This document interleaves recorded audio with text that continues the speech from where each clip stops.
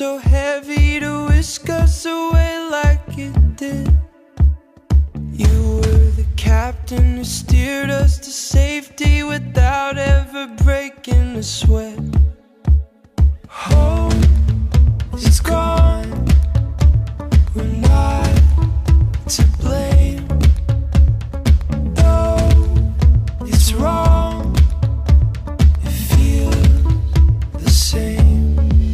If we're a hundred.